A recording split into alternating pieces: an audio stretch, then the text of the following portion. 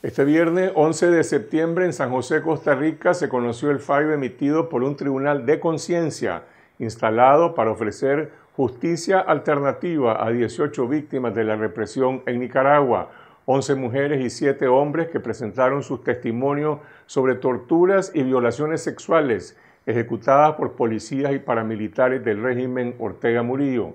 Cindy Regidor conversó con Lina Barrante, directora ejecutiva de la Fundación Arias, y nos cuenta la historia. ¿Cómo nace la idea de crear este tribunal de conciencia?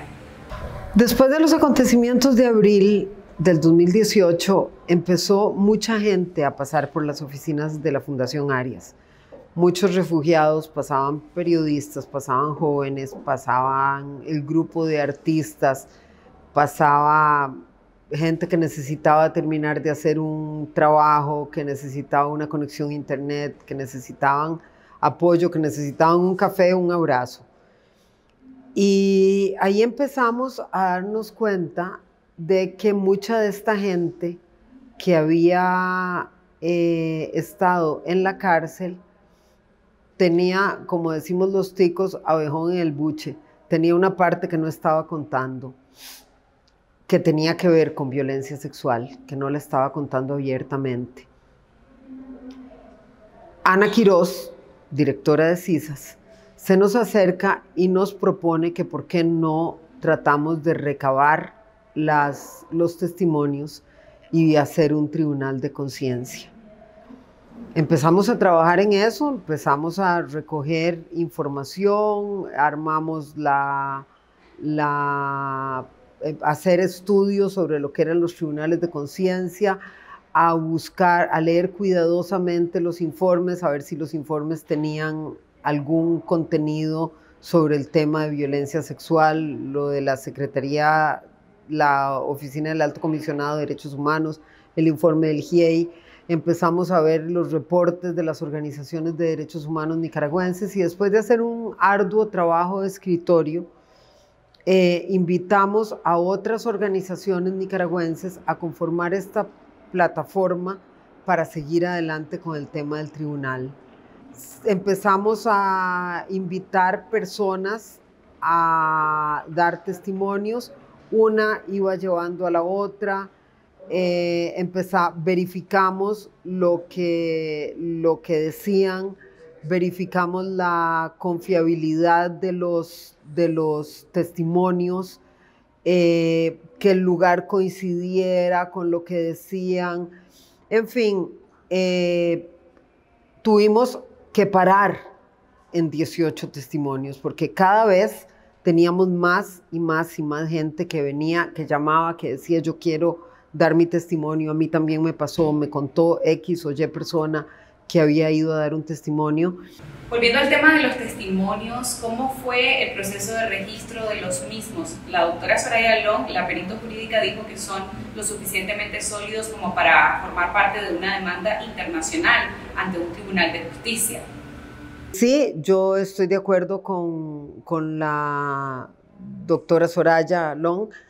Eh, creo que tenemos las bases para tener un caso con un problema. La Comisión Interamericana de Derechos Humanos pide que se haya agotado la legislación interna.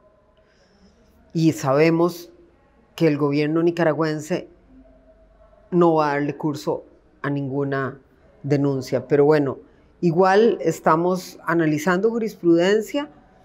Como ustedes vieron, tenemos en el, como miembro del jurado a doña Sonia Picado, quien presidió la, Corte Interamericana y quien se ofreció a apoyarnos en esta segunda parte, a analizar jurisprudencia, a ver si, es, si le parece posible que vayamos directamente a la comisión. En eso estamos nosotros. En las reuniones con las juezas, ¿cuáles fueron las inquietudes más recurrentes? ¿Cuáles fueron las valoraciones que hicieron de los testimonios antes de llegar al fallo? Todas las juezas estaban muy impresionadas con los peritazgos.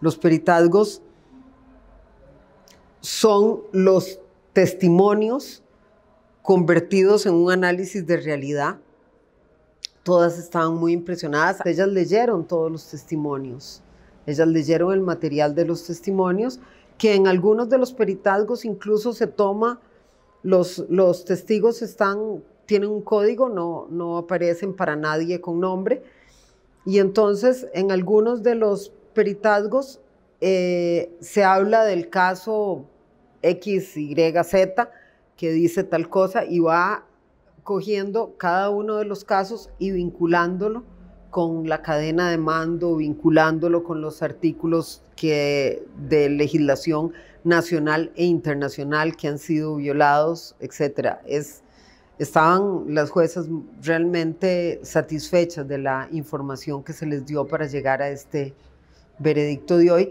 que a mí me deja muy satisfecha porque viniendo de gente tan sólida, que ellas se hayan puesto de acuerdo en un texto así de claro y así de contundente, a mí me da una gran satisfacción.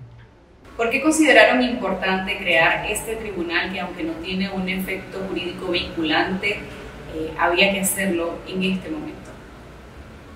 Yo creo que tiene dos eh, razones muy importantes. La primera, que las víctimas a las que entrevistamos y los cientos de otras víctimas de la represión y de la dictadura Ortega Murillo vean que el mundo no las está dejando de lado. Empezar a hacer justicia, que se den cuenta. Nosotros tomamos 18 testimonios sin embargo, con la cantidad de detenidos que ha habido en Nicaragua, presumimos que hay muchísimos casos similares a esto y que empiecen a ver y a identificarse y que se den cuenta de que no fue algo casual que me sucedió a mí, no, que hubo una política de Estado orientada a que eso le pasara. Entonces, yo creo que ahí empieza el proceso de sanación. Cuando empiezan, a, cuando dejan de ser invisibles, lo que no se dice no sucede. En este momento, todas las víctimas de, la, de ese tipo de abusos sexuales en Nicaragua pasaron a ser visibles gracias a esto que hemos organizado. Y el segundo, que la prensa internacional y las organizaciones internacionales no pierdan de vista Nicaragua. Eh, todo el mundo está concentrado hablando del COVID. No, hay lugares donde hay gobiernos cometiendo atrocidades, aparte de la naturaleza y de una pandemia que estamos viviendo todos, eh, tenemos que darnos cuenta de que hay países en los que se están cometiendo atrocidades y Nicaragua es uno de ellos.